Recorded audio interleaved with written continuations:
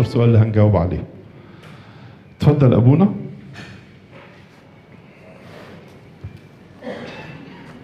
أولا سيدنا مش نشكر قداستك على المكان المشرف الرائع للكنيسة القبطية ده يليق بالكنيسة إن هيكون عندها المكان الجميل ده. كلنا فرحة بيه يعني سيدنا وتعيش تعمر قداستك. الحاجة الثانية سيدنا آه، هل آه، آه، يعني إحنا أصبحنا في احتياج لتفعيل دور الدياكونية مرة تانية؟ آه، الكنيسة خدت وقت طويل آه، كان الدياكون فيه ليه ليه دور كبير جدا. هل نحتاج إلى العودة لهذا الدور؟ والحلم اللي عند سيدنا هل ممكن آه، يتحول التكريس من صورته الحالية اللي أنا يعني تحللني قداستك أنا بشوف إنها مرتبطة قوي بالعمل الخدمي أو نقدر نقول التنموي أكتر من العمل الرعوي. هل نحلم بمؤسسة تكريس؟ آه، آم، يا لو جاز التسمية نسميها مركزية ترعاها الكنيسه آه، آه، تقدر من خلال آه، المدرسة دي أو البيت ده إنها تخرج مكرسين ومكرسات قادرين على إن هم يعني يكونوا قادة فاعلين في المجتمع الكنسي ويصنعوا تغيير حقيقي في المجتمع الكنسي. لأن يعني رمي الموضوع كله مع الكهنوت ربما يكون يعني في صعوبة في الخدمة لأن إحنا مثقلين باعمال كتيرة جدا.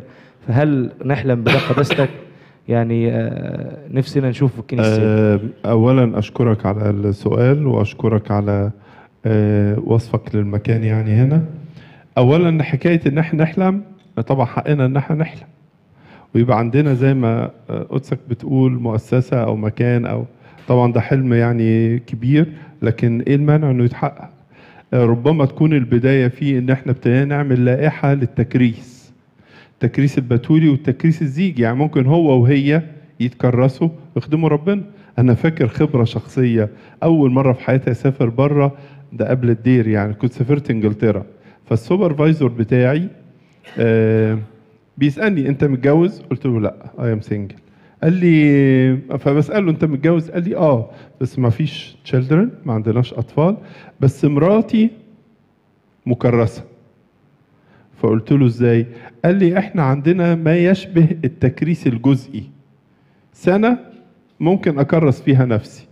فهي مكر... هي كانت صيدلانيه آه هي مكرسة دلوقتي بتخدم في نيجيريا. يعني سايبة جوزها سايبة عملها ورايحة مكرسة من خلال الكنيسة تخدم. دي يعني من الأفكار. فإن يكون عندنا لائحة للتكريس دي كبداية والفكر ده ينساب للكنيسة وتفعيل دور الدياكون في جوه الكنيسة أحلام مهمة وأتمنى إنها تتحقق. بس المهم التغيير الفكري.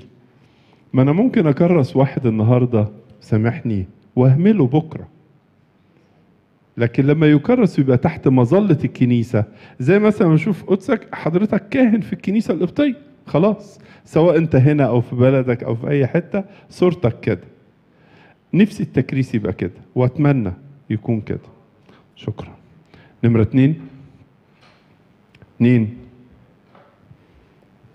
قبل يد سيدنا ابنكم القدس يعقوب ويليام الزقازيق أهلا بيك. طبعا إحنا فرحانين جدا جدا بال- بالروح المستنيرة اللي قداستك بتقود بها الكنيسه في الفترة دي وإن شاء الله واثقين إن يكون لها ثمار حلوة مع الوقت الجاي إن شاء الله. حقيقة سيدنا هاخد بس نقطة الكنيسة والفضيلة وبالذات حكاية الرجاء. إحنا يا سيدنا في في مصر حاليا بنعاني جدا. آه، مصر آه، طول عمرها بلد حلوة وبلد فضيلة. في الفترة الأخيرة يمكن كمان بعد الثورة أكتر شايفين المن- المنحنى بينزل جدا في الأخلاق والفضيله في نواحي كتير. آم، أولادنا مش عارفين يعيشوا بالتعليم الحلوة اللي اتعلموها جوه الكنيسة. بيلاقوا صعوبة بره كبيرة. إيه رؤية قداستك لدور الكنيسة في المرحلة الجاية؟ لأن الأولاد بيعانوا جدا وشايفين إن اللي بنعلمه لهم في الكنيسة صعب يعيشوا بيه. يعني لو كانوا طلبة آه، أصبح الغش موجود في كل مكان مثلا بقى الغش بقى شيء كنا زمان ننكسف نغش. دلوقتي بقت مشكلة. ده ممكن الأهالي يزعلوا لو الولد ما غش. وفي مجالات العمل التاجر الأمين بيتعب. والموظف الأمين بيتعب. في معاناة صعبة. بس إحنا عندنا رجاء وكنيسة هي مصدر الفضيلة. فعاوز بعد إذن قداستك رؤية الكنيسة ودور الكنيسة في المرحلة الجاية الصعبة اللي بنمر بيها حاليا. شكرا سيدي. شكرا يا ابونا يعقوب طبعا لازم نؤكد على الفضيلة. وشيوع الخطأ ليس تبرير له. يعني افرض كده كل الناس بتقتل. القتل ما بقاش خطية؟ شيء طبيعي. فشيوع الخطأ لا يبرر صلاحيته ولا يبرر جودته ولا يبرر حتى وجوده. وإذا ما كانش الكنيسة على الأقل تنور شمعة في وسط مجتمع أصيب بالظلام أمال مين اللي هينور شمعة؟ دي مسؤولية؟ فإحنا محتاجين الموظف الأمين ومحتاجين التاجر الأمين محتاجين الطالب الأمين ومحتاجين المدرس الأمين محتاجينه مش محتاجينه عشان إحنا ككنيسة محتاجينه عشان المجتمع. صيانة المجتمع اللي قلت لك عليها في الأول. ولا من ينير هذا المجتمع؟ بل بالعكس ده أنا آخد سؤالك وأقول إيه بقت مسؤوليتنا مضاعفة. قدسك ذكرت في كلامك في معاناة عند ولادنا. أيوه طبعا معاناة. بس بقت مسؤوليتنا مضاعفة أكثر وأكثر.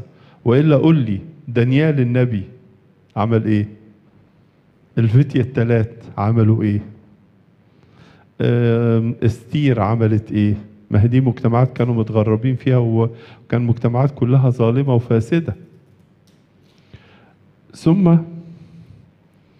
ربما تعترض على كلامي ليس المجتمع بهذا الظلام كله. ما أقدرش أعمم. في طبعا ضعفات في ضعفات. بعض الناس بتاخد بالها منها بعض الناس بتقاومها جهات في الدولة بيحاولوا لكن مش كل المجتمع كده. في ناس ناجحة وناس بتحقق نشاط نشكر ربنا وناس ربنا بيبارك في عملها وفي دراستها. كل ده موجود. فعلينا إن إحنا نقوي نماذج الفضيلة. نقوي النماذج اللي هي تحافظ على الفضيلة والنور اللي في وسط المجتمع. شكرا يا ثلاثة نشكر قداستك كتير على القلب الكبير والفكر المستنير والمحبة الفياضة اللي قداستك بتحوطنا بيها سواء كان في الأنافورة أو في كينج مريوط أو هنا في المكان الرائع والبديع يعني اللي إحنا المفروض يعني عايزين فعلا نعمل لكم جولة فيه ولا أنتوا اتجولتوا؟ لا لا. آه. أصل في حاجات مستخبية ما حدش بيشوفها. آه. نعم؟ ما تحركتوش من مكانكم؟ يا حرام يا حرام. شايف التزام الفضيلة يا أبونا؟ لا نعم هنعمل لكم جولة خاصة. ثلاث أسئلة سريعة بعد إذن قداستك يعني. فيهم اختياري؟ لا لا العفو يا سيدنا. اولا آه، قرأنا في مواقع التواصل الاجتماعي عن قبول بابا روما لتوحيد عيد القيامة. ما مدى صحة هذا الكلام؟ نمرة اتنين هل في تقدم مع الدولة في قانون بناء الكنائس قانون ازدراء الأديان قانون الأحوال الشخصية؟ أدي اتنين. نمرة ثلاثة هل في حوارات مع العائلات الأرثوذكسية أو العائلة الأرثوذكسية على مستوى العالم؟ نقدر نعرف حاجات زي كده؟ خطيت يا سيدي. آه، ثلاث أسئلة. الحمد لله أنا مذاكرهم كويس. أول سؤال ما زال اقتراح توحيد عيد القيامة؟ هو موجود في الكنيسة الكاثوليكية عند بابا روما وبتناقشوا دلوقتي الكنائس الأرثوذكسية البيزنطية والكنائس الأنجليكانية اللي هي بتاعت إنجلترا وافقت عليه خالص. و... وهو بنحاول لكن كقرار نهائي لسه ما تمش. آه، السؤال الثاني قوانين الدولة. قانون بناء الكنائس اتعملت المسودة الأخيرة بتاعته والمفترض أنه يخش في الانعقاد الحالي يخش مجلس الشعب للمناقشة بتاعته و... وأتمنى إنه يتم إيجازه بطريقة يعني طيبة وطريقة مرضية للجميع. آه، ازدراء الأديان ده مش يعني مش تبع الكنيسة لكن بيناقشوا المجلس ولنا وجهة نظر فيه طبعا. بالنسبة للأحوال الشخصية هيتعرض لأن هم مشغولين دلوقتي بقانون الخدمة المدنية. ده واخد منهم شغل كتير قوي. فده هينعقد هيدخل في دورة الانعقاد الثاني. كنائس الأرثوذكسية زي ما حضراتكم عارفين يا أبهات إن العيلة الأرثوذكسية في العالم آه، جزئين جزء اسمه ال Oriental Orthodox دول ست أفراد ست إخوات أهم أقباط سوريان أرمن إثيوبيين إريتريين هنود. دول ست إخوات ك- اللي هي كنايس زينا نقدر نتناول عندهم ويتناولوا عندنا يقدر ي- نتجوز منهم يتجوزوا مننا زينا بالظبط. دي اسمها الكنائس الأرثوذكسية الأورينتال الشرقية القديمة يعني. في 14 كنيسة تانية اسمهم الكنائس البيزنطية أو الشرقية البيزنطية اللي منهم مين؟ منهم روسيا بلغاريا رومانيا فنلندا آه، قبرص اليونان والقسطنطينية اللي هي إسطنبول اللي هي في تركيا دلوقتي اللي فيها اسمه البطريرك المسكوني Ecumenical بطريرك ال 14 دول عاملين مؤتمر اسمه المجمع الأرثوذكسي الكبير. الشهر الجاي عاملينه في جزيرة كريت.